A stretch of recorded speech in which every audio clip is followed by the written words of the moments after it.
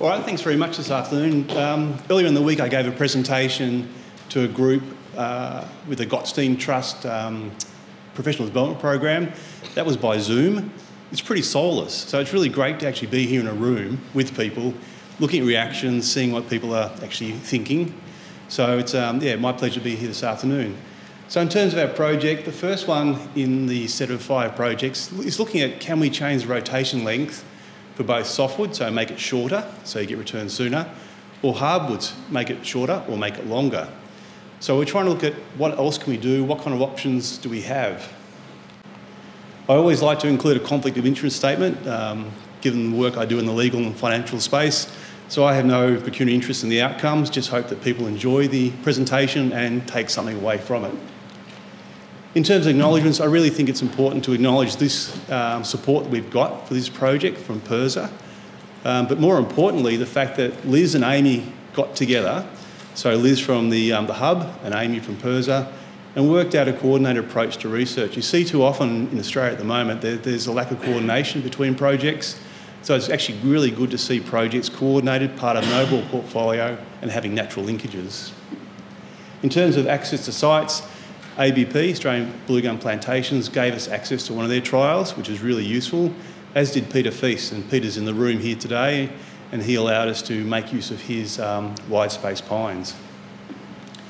In terms of the purpose of the project, as I said, what we're trying to do is look at can we change the rotation length to something shorter or longer, again, to try and meet the needs of farmers who are growing trees, because it's all about timing in terms of the farmer's needs.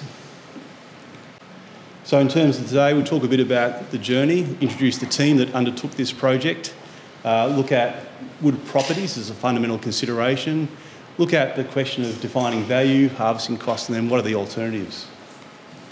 So in terms of the team, we pulled together a really good team of people, each focused on a specific part of the information base. I won't go through all the names. We have some of the um, uh, illustrious characters here in the room today who are talking next.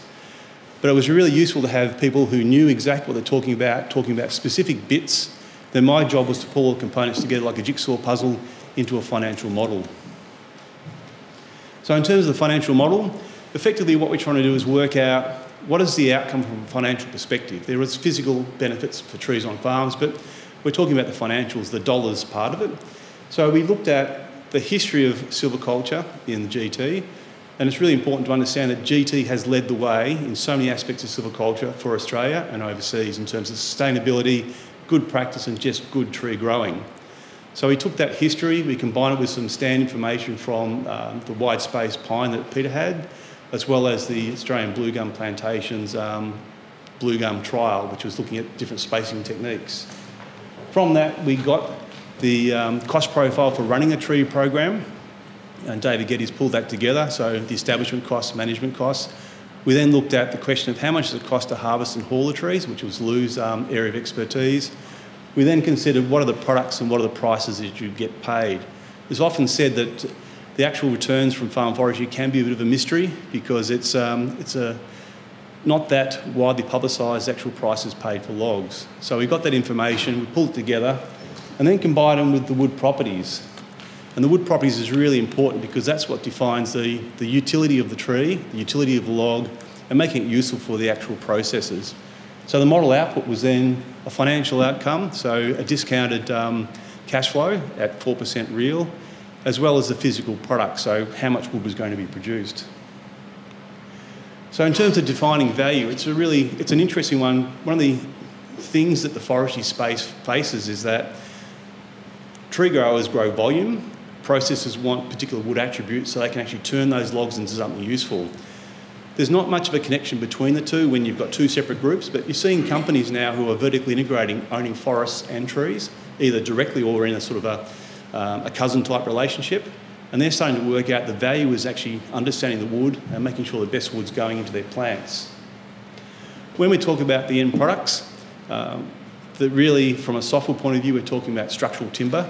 So the wood that we build houses with, which is in short supply around Australia, and also export wood chips, which ultimately end up mostly as fine papers. We don't produce any photocopy paper in Australia anymore as of a couple of weeks ago. So we've got to import all that material from overseas. If you think about what we're producing, we have to look at the markets today and how they are. So this is a mate's um, house being built in Gippsland, where I come from. There's a whole range of products in there. You've got the structural timbers holding up the roof. You've got all sorts of composite products. You've got um, panel board materials. So there's a whole range of things made out of a tree. Will that be the same in 20 years' time? I doubt it. We'll probably look at more engineered type products. But we need to start with what we can currently sell at the moment to help inform our process going forward. So this is a little bit of an aside, given we have an agricultural um, audience. So I want to just show you that tree growing is not so different to agriculture. If you take a 500 kilogram steer and you assume that 500 kilograms is 100%, when that steer goes through the first stage of the process and ends up as a hanging carcass, you end up with just under 6% as a hanging carcass. You have the byproducts of that process. If you then take the carcass and break it up into the the different meat components, you get this breakdown of um, the different aspects of what that carcass from the live animal through to the products looks like. So you've got this quite nice profile, which I pulled together with the help of an agricultural um, student. That's the same profile done from a mature radiata pine tree. Looks pretty much the same, two separate slides. Put them side to side.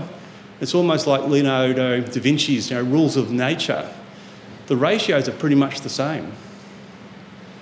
So it's the same principle with forestry. We need to have a market for all our components of both the growing process as well as all the components of when we're actually processing our trees to make sure it's profitable. So when we talk about defining value and how do we compare different regimes, it's about how much wood you grow, the quality of the wood, how much does it cost to grow that wood, then what sort of price you get paid for it. So this is a pretty crude equation, but this is the kind of value proposition we're talking about for growers. So if you're trying to assess trees, you can cut them down and do destructive sampling, but you kind of like, um, you know, understand the tree too late. What we've got a new system which Geoff Downes is the, um, I call it the grandfather of, is a system using a resi tool which actually bores through the tree and the degree of resistance of the wood, so different wood properties, change how easy or hard it is for that drill to go forward, and you can record the attributes inside a tree. So we can start to assess trees while they're standing to understand what's going on inside the tree. From an agriculture perspective, it's the same thing as using an ultrasound over the back of an animal to try and work out its muscle score, its fat score. So we're looking inside the tree to try and work out what's going on. And that's important to understand what's good and what's no, not so good in terms of growing trees. When you look at wood properties, this is a series of um, charts from the ResiTool output showing uh, six different tree profiles. All the trees are the same size, but not all trees are the same in terms of wood properties. So if we look at this chart, the first one here with the orange, that's all the timber that would come out of those trees which is not structural. It's not strong enough to hold up a roof of a house. So it's less than what they call MGP 10. So it's a machine graded pine 10. If you look at the other side, the purple one, you've got super strong wood. It's really high quality, it can hold up that roof, it's what the market wants.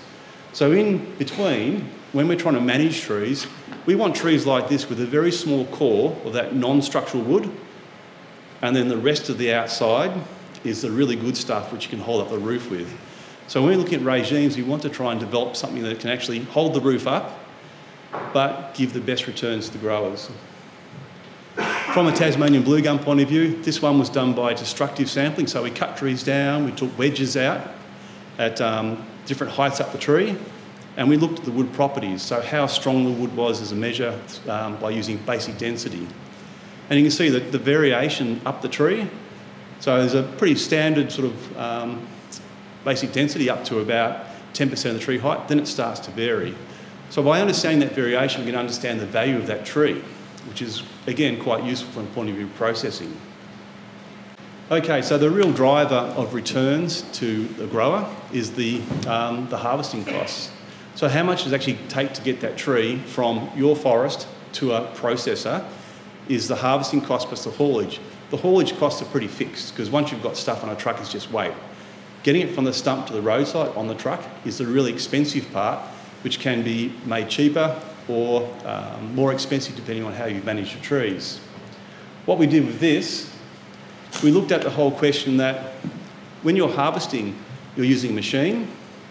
That machine cuts off the tree, handles each tree individually as a stem. So if you've got a really big tree, that fixed amount of steps is producing more wood per movement. And if you've got a really small tree, you're producing a lot less wood per movement. So with bigger trees, your costs go down. With little trees, your costs go up. That starts to look at what's important of how you grow your trees. So if we look at the cost profiles for trees in Mount Gambier, and this is some great work that Lou did. Lou got a whole series of cost profiles of different kinds of operations in radiata pine at different stages against the mean tree value across the bottom axes for how much it costs per tonne to move the wood. You can see it's a pretty neat kind of pattern. When we pulled it together onto the one chart, it was surprising how neat that pattern was, which then allowed us to do a bit of wizardry of Excel and generate a one-stop cost profile for all different sizes, sizes of trees. So in the model, when we varied, say, how many trees you planted or how few, it would then generate what that harvesting cost profile is going to be as an indication of returns from that tree growing enterprise. The same thing for um, Tasmanian blue gum, a little bit different. Those bottom set of lines, when we put the cost profile in, you can generate that, but the two ones above it where the arrow's pointing, they're for a very different operation. We're actually turning the trees into wood chips on site. So there's extra sex, extra costs. So with those two models, we're able to build into our analysis to look at the different types of regimes, what the impacts were in terms of costs, and therefore what were the returns for the different regimes. We started off with a range of different options to test. There was could be hundreds of different regimes. We narrowed it down thinking we want to go from a, a long rotation cycle to something a bit shorter, something much shorter, and something super short as the variation. And the same thing with our hardwoods. So we wanted to go from a um, standard hardwood regime around about 10 to 12 years for clear fall for chip. What happens if we grow up longer to make bigger trees for potentially other products or just bigger trees for chip? What happens if we make it a much shorter regime? What does that do? Remembering back to the question that as you decrease your tree size, your harvesting costs go up. We, we tested a range of regimes for both the hardwoods and the softwoods. So from the radiata pine point of view, the green bar is business as usual, so that's a sort of standard case. The first two changes are clear falling a little bit earlier. So the second of those um, alternative shorter rotations is you don't do any third thinning. So you end up with more trees to harvest finally. Then there's a couple of super short regimes. We're talking about 12 year clear fall for pines.